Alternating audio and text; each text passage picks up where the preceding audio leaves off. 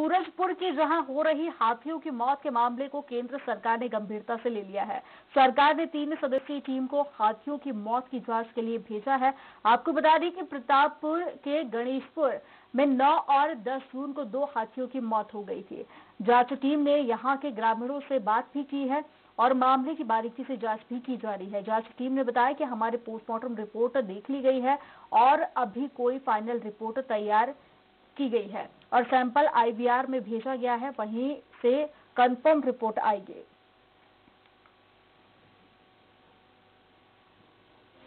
Postmortem report भी देख लिया जिसमें कोई कंक्लूसिव रिज़ल्ट नहीं निकला है। तो अभी फॉरेस्ट डिपार्टमेंट ने, लेकिन सारा सैंपल्स का जो इंटरनल ऑर्गेन्स है, उसका सैंपल्स लेके आई जो एक बहुत वरिष्ठ वहाँ ये पहले सर्वप्रथम बलरामपुर गए थे, और तत्पश्चात प्रतापपुर आए, प्रतापपुर में दोनों साइड पर देखे, जहाँ पर घटना घटी थी एक्चुअल में, और उसके बाद ग्रामीणों से भी पूछताछ किए ग्रामीणों से भी मान की क्या क्या कार्रवाई हुआ, कितने, कहाँ तक पहुँचे हैं क्या क्या किए हैं, पूरी जानकारी लेने के बाद आप ही मानिए और इसी पर ज़्यादा जानकारी के लिए हमारे साथ में संवाददाता दिलशाद अहमद जुड़ गए हैं। दिलशाद, कई दिनों से हाथियों का मौत का मामला सुर्खियों में बना हुआ है और कई दिनों से इसको लेकर जाँच भी की जा रही है। अभी तक जाँच रिपोर्ट में क्या कुछ निकलकर सामने आया है?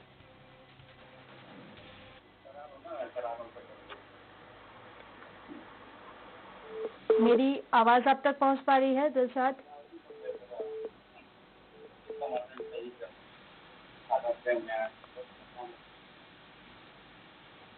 मेरी आवाज़ आप तक पहुँच पा रही है।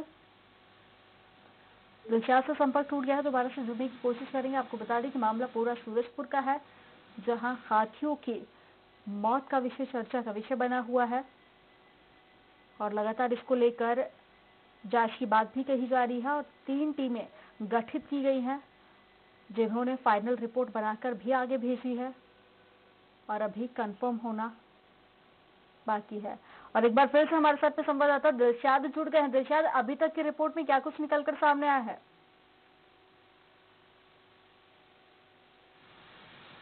मेरी आवाज़ आप तक पहुँच पाई, दिलशाद?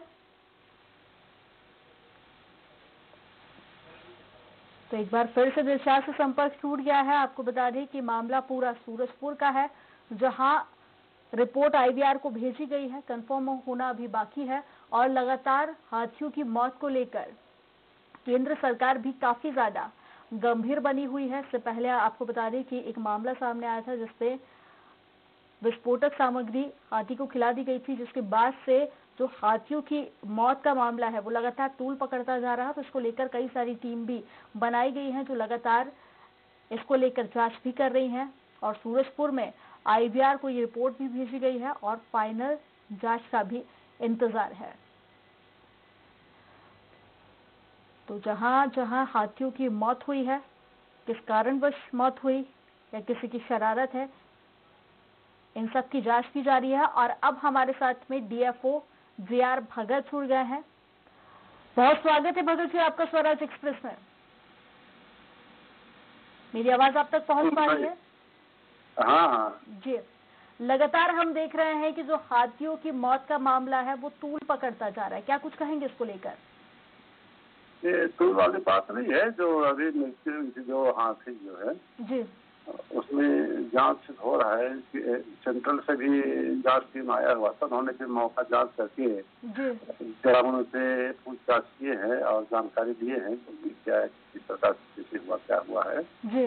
और जो पीएम के बाद दिशा प्राप्त किए गए थे जिसको जाँच हेतु भेजा गया था बरेली भेजे हैं और वहाँ भेजे हैं समझो। जब तक रिपोर्ट नहीं आ जाएगा तब तक ये नहीं कर सकते कि स्पष्ट निष्कर्ष में निकल, नहीं निकल सकती कि वास्तव में हाथी की मृत्यु किस प्रकार से हुआ।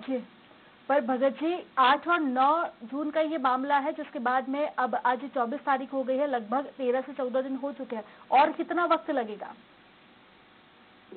अब वक्त हमारे हाथ में तो है नहीं मैडम कि हम जो उसको कि एक हफ़्ता बता दें पंद्रह दिन बता दें। अब उनके लेब के ऊपर डिपेंड करता है कितने दिन में लोग जाँच रिपोर्ट देते हैं। जैसे जाँच रिपोर्ट हम तो यहाँ पर मौके में कार्रवाई कर ही रहे हैं इस चीज़ का। जो। जो भी मान के एविडेंस मिल रहा है या जो पूछताछ कर रहे हैं लोगों की जानकारी ले रहे हैं हम लोग माने लगे हुए यहाँ पे जो दल बना बना के।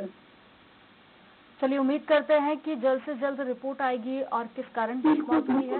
इसका खुलासा होगा और अगर किसी की कोई शरारत है तो उसको लेकर भी सख्त कार्रवाई होगी। हमारे साथ जुड़ने के लिए बहुत शुक्रिया आपका।